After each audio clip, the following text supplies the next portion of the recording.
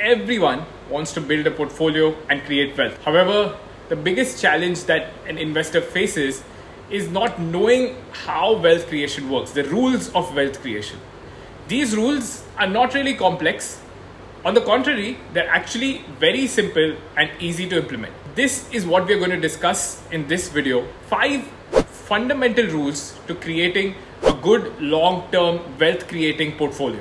Rule number one, savings first and then spending. Famous 19th century chess player Charles Haffey quoted, It's not your salary that makes you rich, it's your spending habits. Warren Buffett is a big proponent of this too. In Buffett's words, do not save what is left after spending, but spend what is left after saving. This also ensures that because you might not have enough money, your unnecessary expenses are also controlled. So if you've done this, the next question typically for everybody is, okay, how much should I save? That's where we take into consideration rule number two is the 50 30 20 rule elizabeth warren the us senator popularized this rule through her book all your worth the ultimate lifetime money plan according to this rule divide your income allocate 50% to needs, 30% to wants, and save the rest of 20%. It's simple but very powerful. It also doesn't mean you should save only 20%. No, you can save more too. But 20% is the very least that you should be saving on a monthly basis. And if we go by the first rule,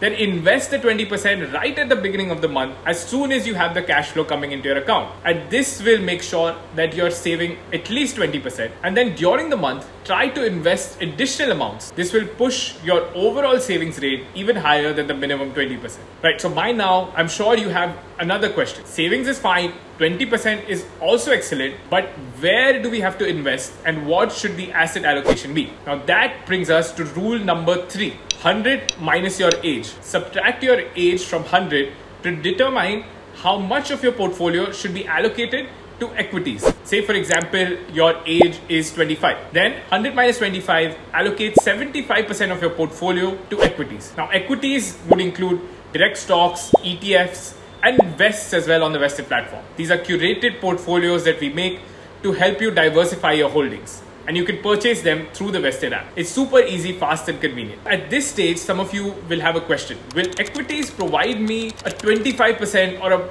great return year on year on my investments? I want to build wealth fast. Well, the answer to this question lies in rule number four, which is the 10 5 3 rule. It basically says that equities will not necessarily generate 25% year over year return because nobody knows what is going to happen each year. But you should have realistic expectations from your investment. And this rule tells you that what you should expect is a 10% return from equity. So 10, 5, which is 5% return from any debt instrument, which is a bond or a fixed deposit, and 3% from a savings account. Equities might have generated, let's say in a year, 25% when you look back at history, right?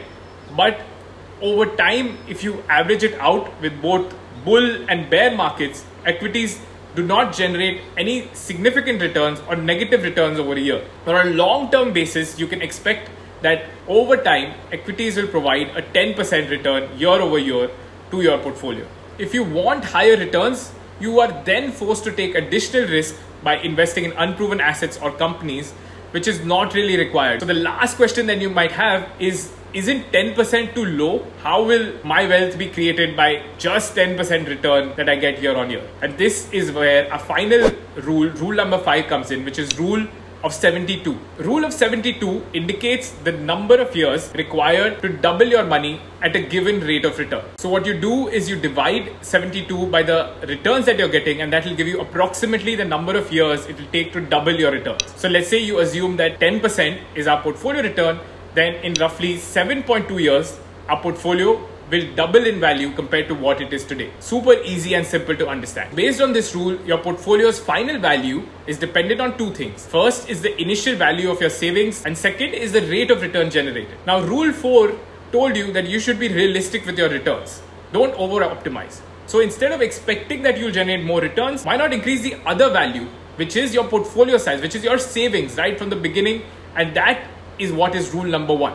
All right, so to wrap up, let's do a quick recap of the five golden rules of investing. The first is save before you spend. The second is the 50 30 20 rule, which is 50% of your expenses can be needs, 30% can be wants, and at least 20% should be your savings. The third is how to do your asset allocation, which is the 100 minus age rule.